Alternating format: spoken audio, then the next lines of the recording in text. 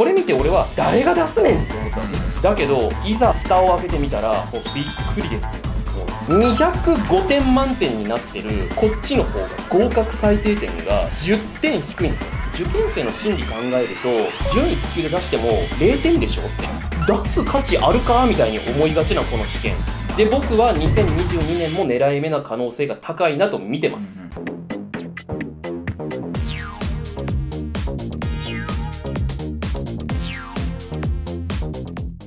東大始まりました。バチェチャンネル。さあ今回も平さんです。平さんでちゅー。ひらちゃんでちゅー。気持ち悪いです。はい。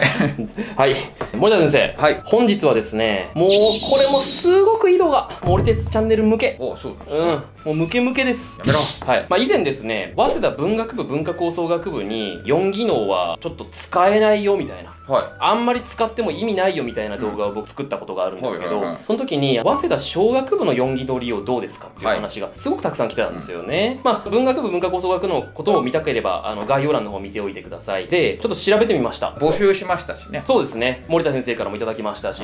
測定開示ください4技の方のって言って、ツイッターとかで送ってくれた方々いらっしゃるで、何通あかデータをいただきまして、ありがとうございました。今回、ちょっとこう調べてみて、すごいことが分かりました。ほそれをちょっとご紹介いただきしようと思うんですけれどもご紹介したいと思うんですけども、結論から言います。ズバリ、ういいわよに22年入試、早稲田小学部は4技能利用型が激アツ。パチンコみたいなね。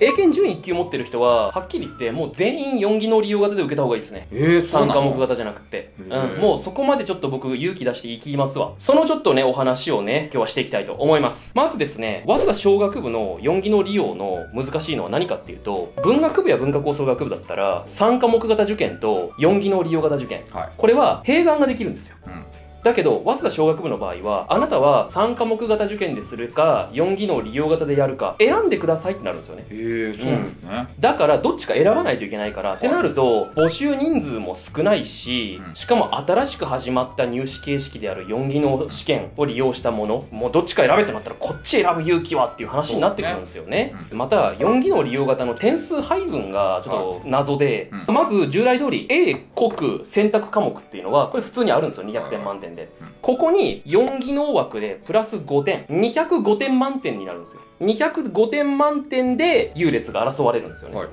いたった5点かいみたいな。うん。で、しかも、これ見てみると、英検1級は5点換算。準1級は0点。で、2級以下は出願不可なんです。はいはいはいこれ見てね、あもちろん TOEFL、IBT とかでも出せるんですよ。うんうん、なんだけど、まあ、大体の人は英検だと思うんですけど、これ見て俺は誰が出すねんって思ったわけですよ。うん大体普通に言われてそう思うじゃないですか。だけど、いざ蓋を開けてみたら、もうびっくりですよ。はいお父ちゃんが言っていた。検査の段階では見えていたものが、いざオペの現場でお腹を開いてみると、全く違う世界が広がっていることがあると。仮面ライダーカブトより。はいで、はい。まず、成績開示データをご覧いただきたいと思います。こちら、3科目型受験なんですけれども、2021年の英国日本史のデータです。この子、まあ、素点はね、ちょっと米印に今年からなってるんですけれども、平均点が全部合わせて118.955なんですね。うんこれね、前の動画で、早稲田小学部って素点何点取ったらいいのっていうのを出してるんですけれども、そちらを見てる方にはちょっとこう伝わると思うんですが、素点であと15点欲しいんですよね。この平均点を見ると。うんうん、合格最低点にあと15点ぐらい欲しいんですよ。ってなると、146とか7とか欲しいんですよね。合格最低点に届くためには。ちょっと7割神話にはね、届かなかったかもしんないけど、僕がよく言う。まあでもその範疇かなと。で、またね、点数も135を超えてくると、成績標準化の影響って、やや緩やかになることが分かってるんで、146、7あればまあ十分合格かなと予想されます。まあそれでもやっぱ予想な範疇ではあります。そうそうそうそう。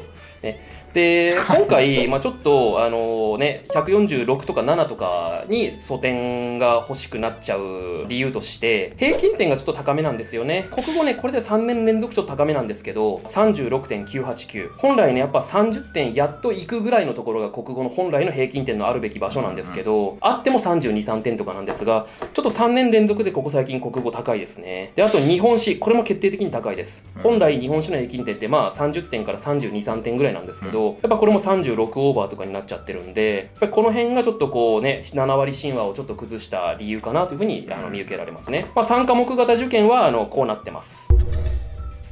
一方で4技能利用型。これも英国日本史の子なんですけれども、はい。こうなってます。素点合計がこの子は115.41で注目すべきはやっぱり4技能枠が標準化後0点なんですよね。うん。この子は準1級で出してるんで、はい。まあ、0点なんですよ。で平均点が0.76ってことはまあまあやっぱ英検1級で出してる人もいるけど大半は準1級で出してるんだなってことが分かるんですよね、うん。注目すべきはここ。合格最低点120.05さっきの見てみてください。131.35が合格最低点なんですよはいはい。205点満点になってるこっちの方が合格最低点が10点低いんですよね。うんうん。うん、普通ね科目が多くなったら合格最低点ってまあやや上がるものなんですよ、うだけど下がってるんですよね、まあ、僕はあのよく大学受験は倍率じゃなくって合格最低点だよっていうことをよく言うんですけど、まあ、みんな大好き倍率の面で言っても4技能試験は3.2倍なんですよ。文系3科目型の場合は11.7で数学選択型の場合は5.3倍とかになってくるんで、まあ、みんなが大好きな倍率の面で見ても低いし。でさらに標準化の影響も3科目型よりは4科目型の方がいわゆる標準点とされるポイントは若干12点高くなることが予想されますんでそう考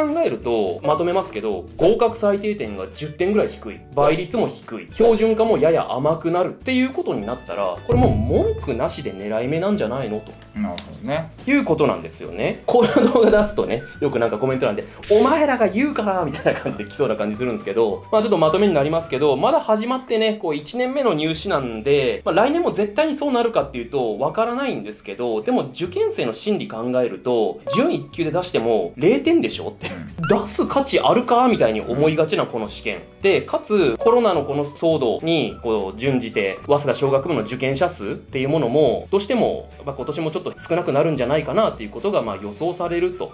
いうこととかそういうもろもろの条件を総合的に考えるとやっぱり2022年の入試もまだちょっとこの形は狙い目が続きそうな予感がするんですよねなる。ほどねうんなので早稲田文文校の4技能利用型は結構だいぶタフだっていうことを僕は申し上げたことがあるんですけれども早稲田小学部型に関してはかなり狙い目だったなと少なくとも2021年は。で僕は2022年も狙い目な可能性が高いなと見てます、つまりこの4技能型でも一般の英語は受けなきゃいけないってことですね。そういうことです、そういうことです。4技能利用型でも、通常の早稲田小学部の英語は受けないといけない。英国選択科目にプラスして5点満点の4技能型があって、トータルで205点満点ってことです。なるほどねじゃあどうなるんですかね楽しみですね。なんでね今回狙い目ああまた当たったら褒めてください。じゃあまあ0点でも出せって出せってことです。受かるから。面白い結果が出たんじゃないですかだから出しといた方が得だったわけですね完全にまあ、どっちかしか選べないからなかなか勇気がいる決断だったとは思うんですけどね。でも結果的にこっちの方が合格最低点10点以上下なんで。得だったってことですねそういうことですねはいなるほど、まあ、4技能でかけた人たちが意外と良かったってことなんですね。いやーなんか不思議な2つ用意する意味って何みたいなね、うん感じですそんな感じもしますね。0点なのにみたいなのがあるんですけどはいそういった形になりました。ぜひ考えてみてはいかがでしょうか。はいご視聴ありがとうございました。Thank you for watching Thank you for watching.